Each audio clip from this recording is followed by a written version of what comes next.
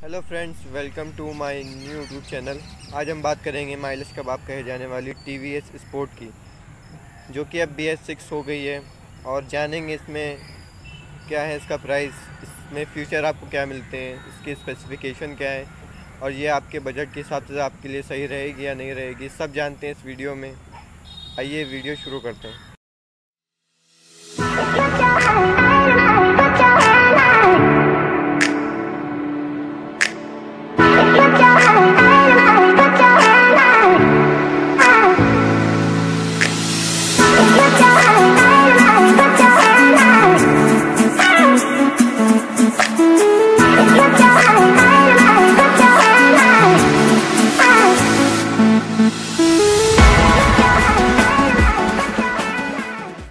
चलिए सबसे पहले बात करते हैं इसके फ्रंट साइड की। तो फ्रंट साइड पे सबसे पहले आपको यहाँ पे टी वी एस का यहाँ पे लोगो मिलेगा, जो कि स्टिकर में आता है। उसके नीचे यहाँ पे आपको जो डिज़ाइन दिख रहा है, ये खाली डिज़ाइन नहीं है। यहाँ पे आपको L E D D R S मिलते हैं, जो कि जलने पे काफ़ी अच्छे लगते हैं। मैं आपको इसको ऑन करके दिखाता हूँ। ये ग्लो हो गए हैं लेकिन इस टाइम रोशनी में ज़्यादा ये दिख नहीं रहे हैं। ये रात में आपको ज़्यादा अच्छे से दिखाई देंगे और इससे गा, गाड़ी की लुकिंग भी काफ़ी अच्छी हो जाती है। और उसके नीचे आप यहाँ पे यहाँ पे देखेंगे तो आपको यहाँ पे हाइलोजन बल्ब मिल जाएगा हेडलाइट में। और आप इसके इंडिकेटर की बात करें तो इसके इंडिकेटर नॉर्मल बल्ब के साथ आ जाते हैं जो कि काफ़ी हार्ड मटेरियल यहाँ पे कंपनी यूज़ करा अगर कंपनी इसमें थोड़ा सॉफ्ट टच मटेरियल यूज़ करती है जो कि फ्लेक्सिबल होता है तो काफ़ी अच्छा रहता है इसकी लाइफ भी काफ़ी अच्छी रहती है इंडिकेटर्स की। और यहाँ पे आप साइड में यहाँ पे देखेंगे तो यहाँ पे आपको थ्री शेड में थोड़ा कलरिंग मिल जाएगी, आपको स्टिकर जो कि नए ग्राफिक यूज़ हुए हैं, इधर वाल भी आपको मिल जाएगी।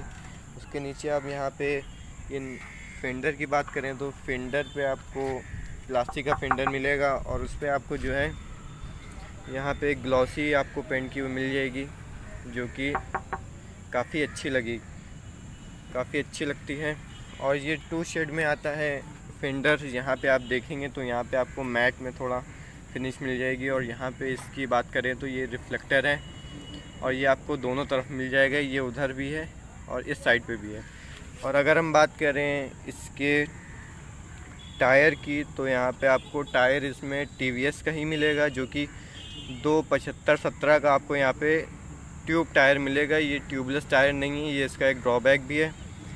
और इसके हम फ्रंट सस्पेंशन की बात करें तो आपको फ्रंट सस्पेंशन जो है, वो टेलीस्कोपिक ऑयल डम्प सस्पेंशन मिल जाएगा, जो कि ख़राब रास्तों के लिए भी काफ़ी अच्छा है। और इसके हम एलॉयज़ की बात करें तो आपको 17 इंचेस के यहाँ पे एलॉय मिल जाएँगे। और अगर हम बात करें इसकी ब्रेकिंग की तो यहाँ पे आपको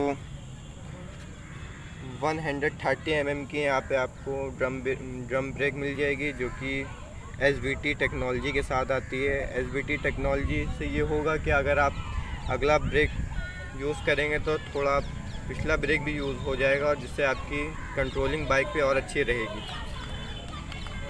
अब हम बात करते हैं इसके राइट साइड की। तो राइट साइड पे आप यहाँ पे देखेंगे लेग गार्ड जो कि काफ़ी इसकी फिनिश भी काफ़ी अच्छी है ग्लॉसी में आता है और ये काफ़ी रफ़ एंड टफ भी लगता है, जो कि पहली बी एस फोर वाली आती थी, उसमें काफ़ी हल्के आते थे। अब इसमें काफ़ी अच्छा कंपनी ने काम करा है, इसको थोड़ा हार्ड मटेरियल कर दिया है। और इस बात करें इसके टैंक की तो टैंक सबसे पहले मैं बता देता हूँ, इसका टैंक कैपेसिटी है टेन लीटर्स और इस पर भी नए ग्राफिक यूज़ करे गए हैं। यहाँ पे आपको ये बिल्कुल नए ग्राफिक हैं थ्री में आ जाते हैं। Three D sorry three shade में यहाँ पे आपको डिज़ाइन मिल जाएगा न्यू ग्राफिक हैं। और सबसे अच्छा जो उसका लगता है, वो आपको प्रीमियम फील कराएगा यहाँ पे।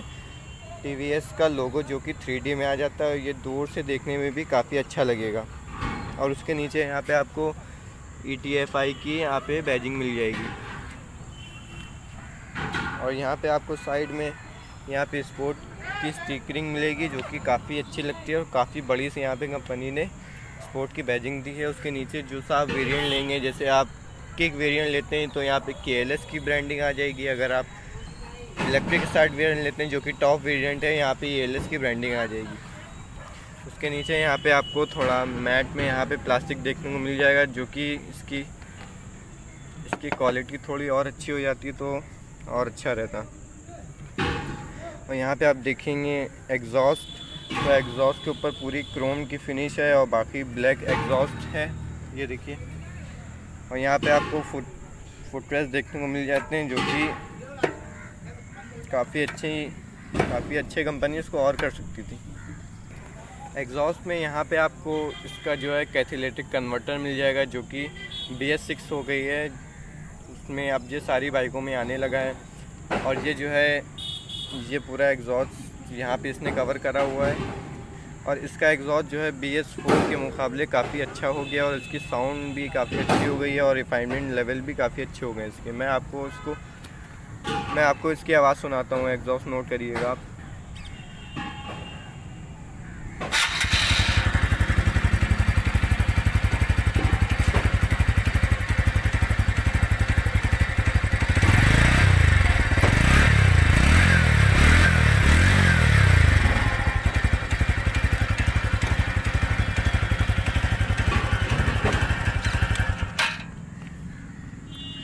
ये कुछ इस तरह से इसका एग्जॉस्ट नोट है।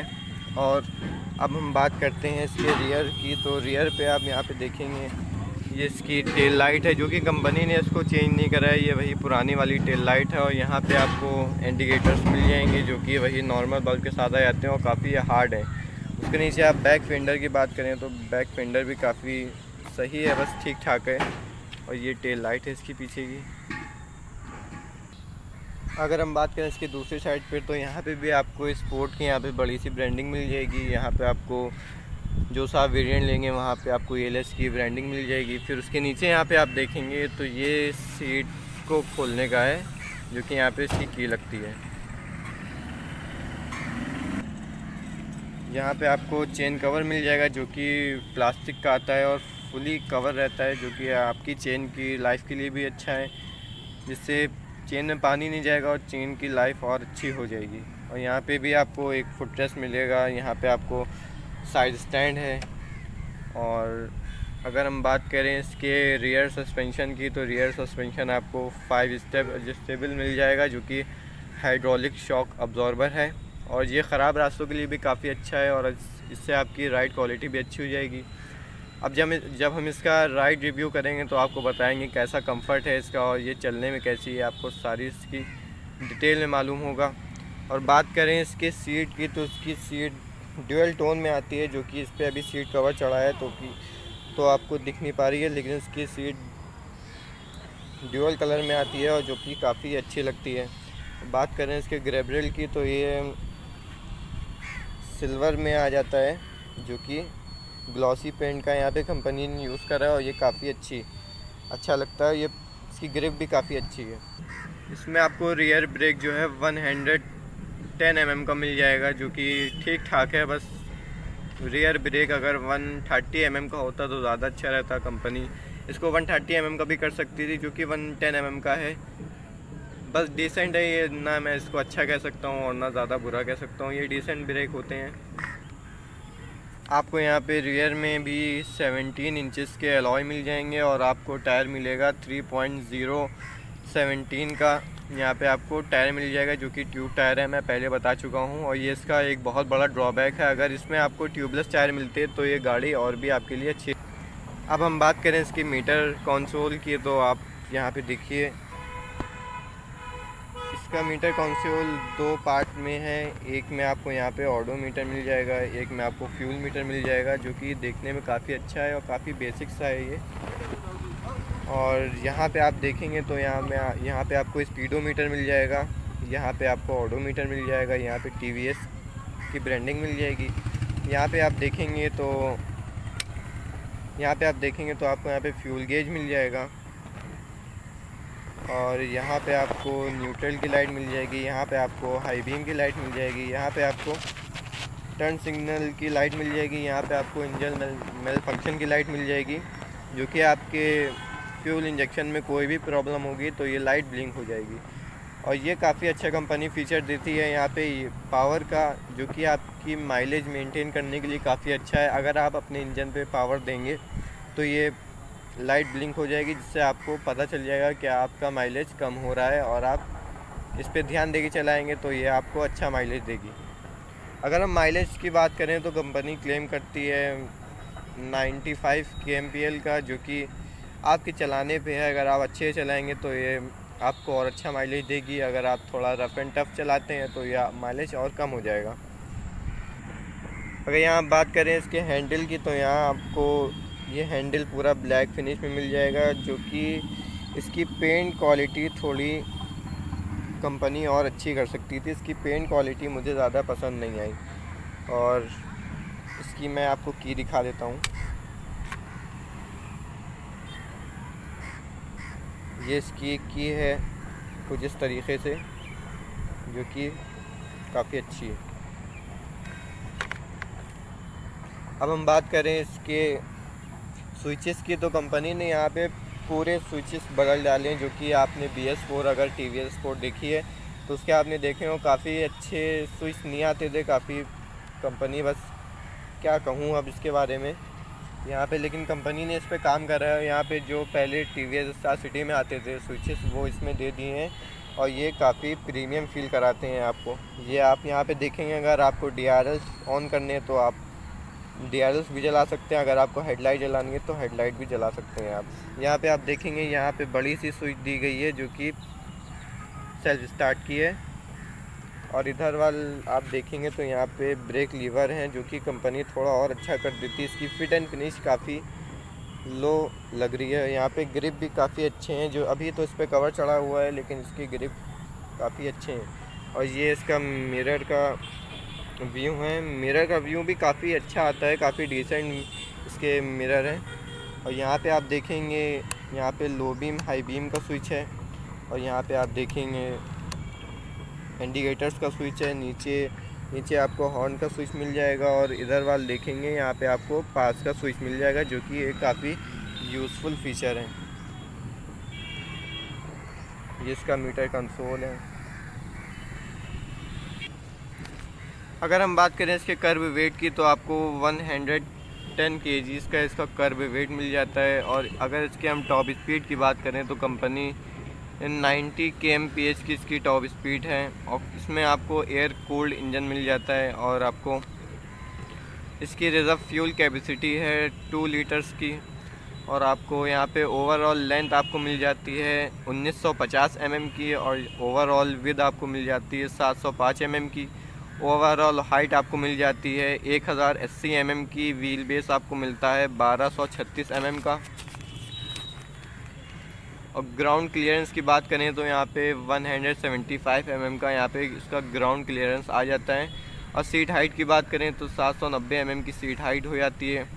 और सबसे मेन बात जो है वो इसका प्राइस है। आपको इसका एक शोरूम प्राइस सेल्फ वेरिएंट का है, सत्तावन हज़ार नौ सौ चालीस रुपये जो कि ऑन रोड आते आते इकहत्तर हज़ार बावन रुपये हो जाता है, जो कि आपके पॉकेट फ्रेंडली है बाइक है, आपको फीचर्स भी आपको ठीक ठाक देती है, आपको सबसे अच्छा इसमें आपको माइलेज मिल जाएगा और ये बजट में भी आपके काफ़ी अच्छे से फिट हो जाती है और ये आपके लिए काफ़ी अच्छी रहेगी बाइक दोस्तों, अगर आपको ये वीडियो मेरी पसंद आई तो इस वीडियो को लाइक करिए शेयर करिए अपने दोस्तों के साथ और बताइए कैसी लगी आपको T V S Sport B S six